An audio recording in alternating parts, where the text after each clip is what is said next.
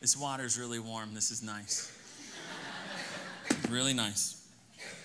Hey, so before we get started, every time we do this, I need to make this one clarification, and that is this. That is this. Tell me. Is what you are going to witness up here, does that act save person being baptized? No, it does not. It is evidence. It is a picture of the salvation that she's already experienced. As she goes under the water, that is a picture of her death to sin, her death to rebellion, her death to being God's enemy. And when she comes up out of the water, she is raised to a new life of following Christ.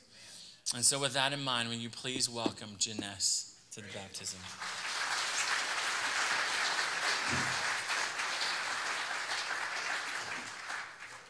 So, Jenesse has prepared a testimony, and so she's going to read that. Yes. Now. Thank you. Yes, I'd like to share a small part of the amazing work of God in my life.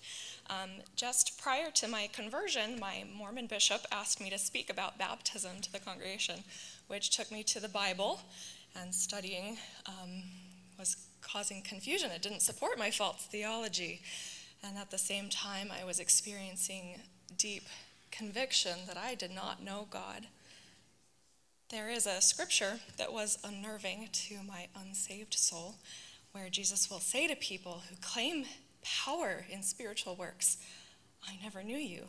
Depart from me. I questioned deeply and wondered if I was good enough. I was in bondage in a religious system of works and ordinances, applying my own efforts, not understanding. These would never bring me to a personal saving relationship with Jesus. Hungry and anxious, I unwittingly listened to all kinds of non biblical teaching. I was ignorant to the God breathed truths of the Bible. The grace filled message of the cross I could not comprehend. I listened to the lie that the Bible was altered, untrustworthy. The God of this world had blinded my mind, keeping me from seeing the light of the gospel of the glory of Christ. The reason for salvation is because God chose to save. He turned on the light. As described in 2 Corinthians, the same God who said, Let there be light in the darkness, has made this light shine in our hearts so that we could know the glory of God. God rescued me from darkness and placed me in Christ's kingdom. Just as I had nothing to do with my own physical birth into this world, this spiritual rebirth was nothing I could ever initiate, only accomplished by the sovereign will and grace of God. I've been amazed to receive brand new sight, a softened heart, and experience new freedom never before known by me. Truly, for freedom, He has set me free. For His grace and mercy, I cannot ever be grateful enough, so I just offer mere worship and praise in awe of His plan of salvation. As in Titus 3:5, as John taught us earlier today, He saved us not because of works done by us in righteousness but according to his own mercy, by washing, regeneration, rebirth, renewal of the Holy Spirit. For this I am forever grateful.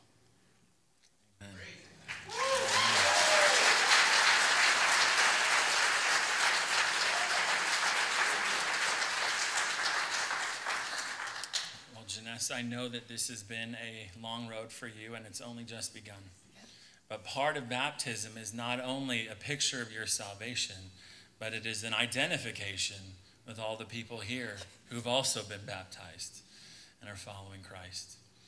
So, based on your profession of faith, it is my honor to baptize you in the name of the Father, and the Son, and the Holy Spirit.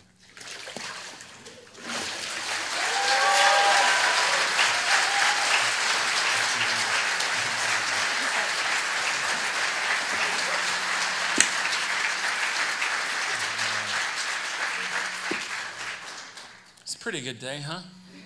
Pretty good day. Well, God bless you. Have a great rest of your Sunday. Take care.